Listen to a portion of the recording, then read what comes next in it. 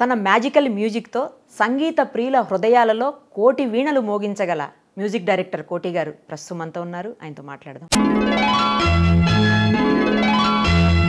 మీకైతే ఫస్ట్ ఒక compliment sir. కోటి గారు ఏంటి? వాళ్ళ అబ్బాయి లాగా ఉన్నారు కోటి గారు లాగా. పార్వతి అనే సింగింగ్ సూపర్ స్టార్ మీ మాటతోటే అసలు ఇదంతా అయింది.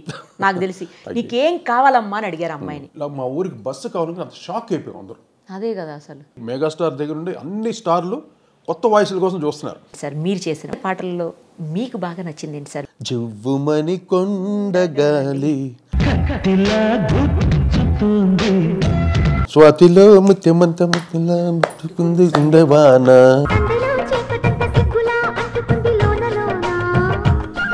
ఓ నవీనా నవీనా నవీనా. జగాన నువ్వేనా హసీనా? ఉన్న మాట చెప్పని ఊరుకుంటే ఒప్పుకోవు ఇంకెలాగే సత్యభామ?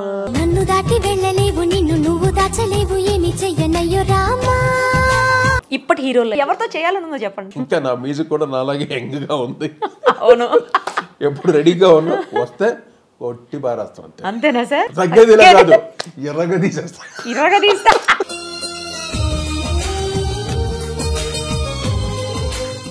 సార్ నమస్తే అండి. నమస్తే అమ్మా. ఎలా ఉన్నారు సార్? నిరుపమ గారు. ఎలా ఉన్నారు సార్? బాగున్నామ్మా అందరు ఆశీస్సులతోటి అందరు బ్లెస్సింగ్స్ తోటి సూపర్ సార్. అంత హాయిగా ప్రశాంతంగా ఉన్నా మీకైతే ఫస్ట్ ఒక కాంప్లిమెంట్ సార్. అంటే ఇది నేను ఇస్తున్నది ప్లస్ చాలా మంది చాలా మంది అంటున్నది. కోటి గారు ఏంటి వాళ్ళ అబ్బాయి లాగా ఉన్నారు కోటి గారి లాగా. ఏజ్ హాఫ్ తగ్గిపోయినట్టు అయిపోయింది కోటి గారికి యంగ్ లుక్తో కనిపిస్తున్నారని. ఏమన్నా స్పెషల్ ఉందా దీనికి? ఏ అలాగేం లేదు. నాకే నేను ఫిట్గా ఉండాలి. నాకు I enjoy myself sir. ఇప్పుడు ఏమైనా డ్రెస్సింగ్ వేసుకున్నా కూడా ఫొటోస్ తీసుకుని నేను అద్దంలో చూసుకుని నేను ఎంజాయ్ చేసుకుంటా ఫస్ట్. ఇంకోళ్ళ కోసం కాదు. అది ఇంకోళ్ళు డెఫినెట్గా చూసి ఇలా మీ ఇలాంటి కాంప్లిమెంట్స్ ఇస్తే.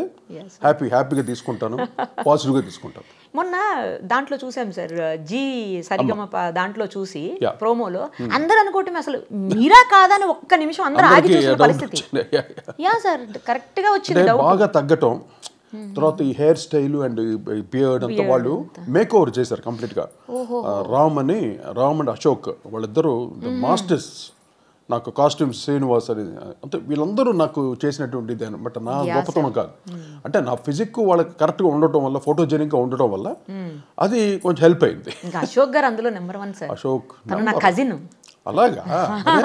అందుకని అంత they very professional and more dedicated ఏ పని చేసినా డీటెయిల్డ్గా చెక్కినట్టు చేస్తారు. వాళ్ళు నన్ను వాళ్ళు చేసింది ఇదే మేక్ ఓవర్ కానీ నా గొప్పతనం ఏం లేదు. అఫ్ కోర్స్ మీ బాడీ అందుకు అది ఫిట్నెస్ కావాలి ఫిట్నెస్?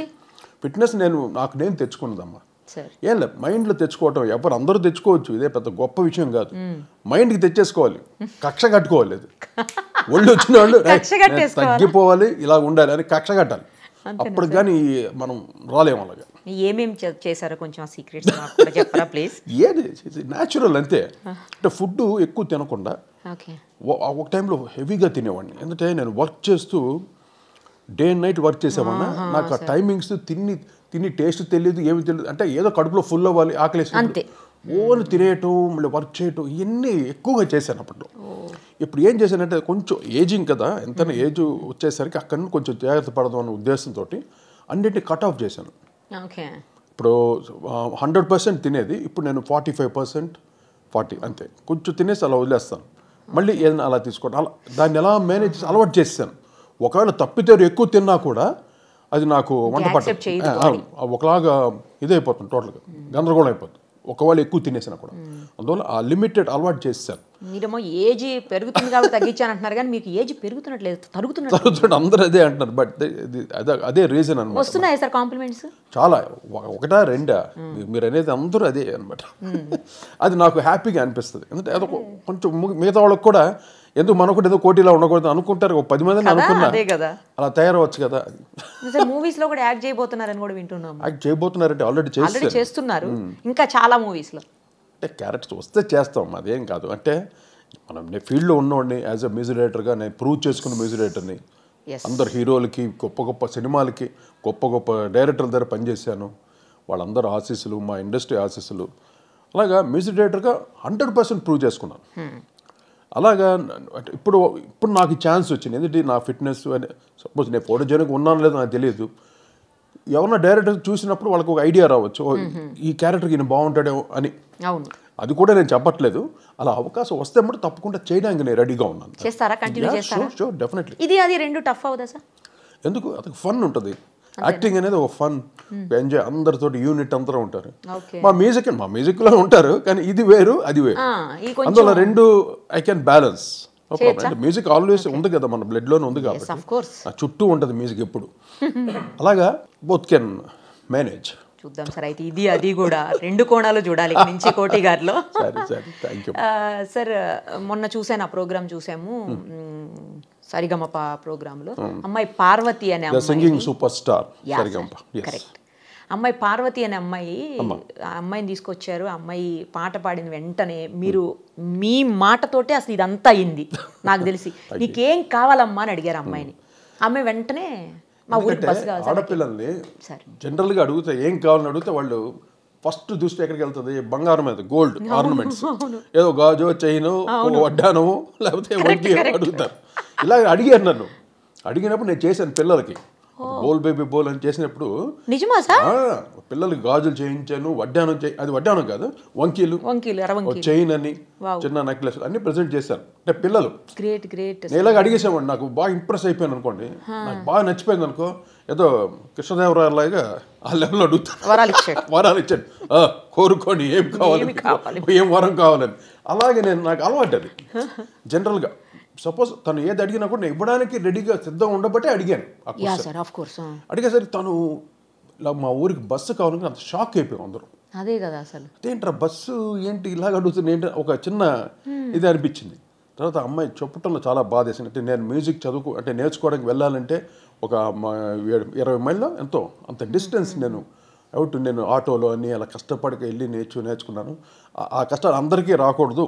మా ఊరికి బస్సు వచ్చేస్తే అందరూ హ్యాపీగా అన్నిటికీ అన్ని పనులకి వెళ్ళడానికి బాగుంటుంది అన్న వస్తున్న అడిగింది తను తను అప్పుడు నేను నేను అడగటం నీకు ఏం కావాలో కోరుకొని ఫట్టుని అదే కదా. అమ్మాయి అడగటం. మీరు అనడంతోనే ఇదంతా అసలు ఈ ఎపిసోడ్ మొత్తం ఇంత హైలైట్ అవ్వడానికి తర్వాత ఆ ఊరికి బస్సు రావడానికి ఆ. అమ్మాయి తన మదిలో ఉన్న కోరిక చెప్పడానికి. ఆ తర్వాత సైమల్టేనియస్గా అన్ని ఒకదాని వెనకాల ఒకటి జరిగిపోయాయి. మీ ఒక్క మాట. అంటే నేను నేను చెప్పగానే ఫస్ట్ మా స్మిత ఉంది కదా తను కూడా స్పందించి తను కూడా బాగా ఎక్కువ సెంటిమెంటల్ తను కూడా బాగా. సో తను ఏం చేసింది? ఇనిషియేటివ్ తీసుకుంది. అంటే నేను యాక్చువల్లీ బొత్స గారితో చెప్పాను విషయం.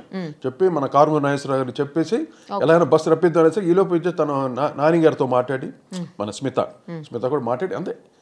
ఆ చెప్పడం ఇనిషియేటివ్ తీసుకోవటం వెంటనే ఆవిడకి బస్సు రావటం అంటే ఒక కళాకారులకి ఎప్పుడు ఆ గౌరవం ఉంటుంది. ప్రభుత్వం దగ్గర ఉండి ఆ గౌరవం ఇవ్వడం నిజంగా ప్రభుత్వాన్ని మెచ్చుకోవాలి. ఇమీడియట్గా స్పందించి రావడానికి. దీంట్లో పొలిటికల్గా నేను మాట్లాడలేదు స్పందించడం ఒక పేద పిల్ల ఒక చిన్న పాడుకునే మట్టిలో మాణిక్యం. అది కూడా తనకు సొంతంగా అడగలేదు. తన స్వార్థానికి అడగలేదు. స్వార్థానికి అడగలేదు. ఊరు కోసం అడిగింది. అడిగిన దాన్ని ఇమీడియట్గా స్పందించి పేరు నానిగారు ఇమీడియట్గా ఆయన మాకు ఆన్లైన్ ఆన్లైన్లోకి వచ్చాడు ఆ రోజు. ఈవెన్ జీ సరిగంప ప్లాట్ఫామ్కి ఆన్లైన్లో వచ్చాడు ఆయన. వీడియో కాల్లో. వచ్చి ఆయన టైమింగ్స్ అడిగాడు. అన్న కంటిన్యూస్గా కష్టం. వీక్లీ ట్రైస్ ట్రైస్ అన్నట్టు ఆయన చెప్పి అంటే వాళ్ళకి ఇబ్బందులు ఉంటాయి కదా. బట్ ఆయన ఇమీడియట్ శాంక్షన్ చేశాడు.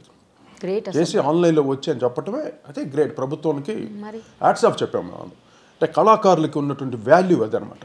ఈరోజు లతా మంగేష్కర్ ప్రపంచంలో భారతదేశంలో ఎంత వాల్యూ ఆవిడ ఫెనరల్ ఎంత గ్రాండ్ అంటే ఒక పెద్ద భారతరత్న లెవెల్లో చేశారు ఆవిడ ఫెనరల్ ఆఫ్ కోర్స్ ఒక ఎస్పి బాలసుమణి గారు. ఆయన ఫెనరల్ ఎంత గ్రాండ్ అంటే ఎంత వాల్యూస్ తోటి రెస్పెక్ట్స్ తోటి అది ఒక కళాకారులకు ఇచ్చే వాల్యూ అదనమాట. అంటే ప్రతి ఒక్కరి గుండెల్లోకి వెళ్ళిపోతారు కదా సార్ మీరు దాని వల్లనే. ఉమ్. ఇప్పుడు తను తన పాప బ్రదర్ వచ్చి చెప్పాడు అందరూ కాకిలాగా ఉంది గాత్రం మటు కోకిల అనేసి ఎంత బాధ వేసింది సార్. అది న్యాచురల్ జనాలు అందరూ విమర్శించడం అనేది క్వైట్ కామన్ మన జనాలు అందరికి అలవాటే కదా. కానీ విమర్శించకుండా ఆ పిల్ల అన్ని తట్టుకొని ఆ గ్రామంలో ఆ పాటలు పాడుకుంటూ ఎంత చక్కగా ఈ స్టేజ్కి వచ్చి పాడిందే అదే నాకు చాలా ఆనందం వేసింది. అవును సార్. అలాగే యాక్చువల్లీ నేను మట్టిలో మాణికొనేసరికి బేబీ అనే మీకు గుర్తే ఫస్ట్ ఐడెంటిఫై చేసాం లైక్ దిస్ ఇలాగే ఆవిడ కూడా బేబీ కూడా.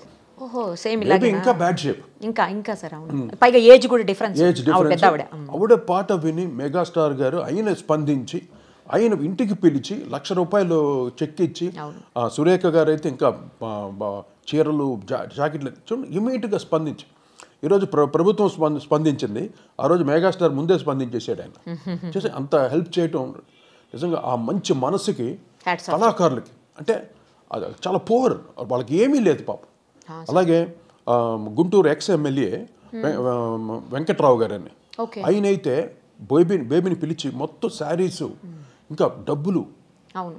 అందరూ అలాగా చేస్తే దుబాయ్ నుండి మన తెలుగు వాళ్ళందరూ ఆవిడ్ని తీసుకురమ్మని చెప్పి బేబీకి అంత క్రేజ్ వచ్చినప్పుడు వస్తే నేను తీసాను దుబాయ్కి ఆవిడ్ని. ఆవిడకి ఫ్లైట్ ఎక్కడం తెలీదు కస్టమ్స్లో ఏం మాట్లాడడం తెలీదు అక్కడ ఎక్స్లే ఎక్సలేటర్ ఎక్కడం తెలీదు. అన్నీ నేను చేతులు పట్టుకొని ఆవిడకి అన్నీ నేర్పిస్తూ తీసాను అంటే చూడండి అంటే ఆ భగవంతుడు నాకు ఒక అదొక అవకాశం ఇచ్చాడు. అటువంటి వాళ్ళకి సేవ చేసే అవకాశం. అంటే అందరికీ వస్తుంది వినియోగించుకునే వాళ్ళు అందరూ అది అది లేదు. నాకు అదొక అదృష్టంగా sir. సరే పా ఏంటి దీంట్లో తప్పేముంది అన్నట్టు ఎంకరేజ్ చేశాను ఆవిడ్ని. కానీ ఎంతైనా ఒక ఫామ్లో ఉన్న మ్యూజిక్ డైరెక్టర్స్ కానీ పెద్ద పెద్ద హీరోలు పెద్ద సినిమా అంటే మైలేజ్ ఎక్కువగా ఉంటుంది. వాళ్ళు పాడిచ్చారు అనుకోండి. ఇప్పుడు ఇదే అమ్మాయిని ఏమన్నా పెద్ద హీరో సినిమాల్లో పాడింది అనుకోండి తనకి మైలేజ్ వస్తుంది ఒక రికగ్నేషన్ వస్తుంది పాట హిట్ అవుతుంది. డెఫినెట్గా ఒక పది పాటలు పాడించుకునే అవకాశాలు వస్తాయి. అన్- అందువల్ల అది చెయ్యాలి ముఖ్యంగా. దీని ద్వారా అది నా- నేను అది కోరుకునేది. పిల్లలు వాళ్ళు అంత కష్టపడి నేర్చుకొని పాడుతున్నారు వాళ్ళ ఒరిజినల్ వాయిస్ తోటి. అంటే ఇమిటేషన్ వాయిస్ కాదు. ఒరిజినల్ వాయిస్తో పాడుతున్నారు కాబట్టి. ఈ వాయిసెస్ మాకు కావాలి. ఎంతో మంది సంగీత దర్శకులు వెయిటింగ్ అనమాట కొత్త కొత్త వాయిస్ కోసం అన్వేషణ. అన్వేషణలు ఉంటారు ప్రతి ఒక్క ప్రపంచం అంతా. నాట్ ఓన్లీ దిస్ ఇప్పుడు యూట్యూబ్స్లో వెళ్ళింది అనుకోండి ఇది ఎవరికో ఫారెన్లో ఒక స్పానిష్ కంపోజర్కో లేకపోతే ఇటాలియన్ కంపోజర్కి నచ్చింది అనుకోండి తను వెంటనే వాయిస్ యూజ్ చేస్తాడు. అలాగే అయిపోయింది గ్లోబలైజ్ అయిపోయింది ఇప్పుడంతా. అందువల్ల టాలెంట్స్ ఒరిజినల్ టాలెంట్స్ ఉంటే మటుకు తప్పకుండా వాళ్ళకి మంచి మంచి అవకాశాలు ఉన్నాయి బయట. అసలు ఆవిడే ఫైనల్స్ విజేత అని కూడా అంటున్నారు అప్పుడే సార్ తెలుసా మీకు? అంత కాదులే మరి. రియల్లే ఉన్నారు మంచి. ఇరవై నాలుగు మంది సెలెక్ట్ చేసామమ్మా. దాంట్లో డెఫినెట్గా మంచి అందరూ ఇండివిజువల్ సింగర్స్ ఉన్నారు దీంట్లో. ఎవరు ఒక కాపీ వాయిస్ లాగా ఒక అన్న ఎవరు అతను ఎవరు సిద్ శ్రీరామ్ లాగా అలాగే అటువంటి వాయిస్ లేవు. అంత న్యాచురల్గా పాడుతున్నారు. వాయిస్ అయితే చాలా బాగున్నాయి వాయిసెస్ వాళ్ళకి కూడా.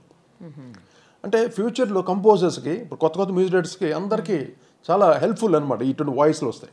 ఇప్పుడు పాటకి ఏమైపోయిందంటే పూర్వం ఘంటసాల గారి తర్వాత ఎస్పి బాలసుబ్రహ్మణ్యం గారు అనేది చాలా పాటలు పాడేశాడు ఆయన.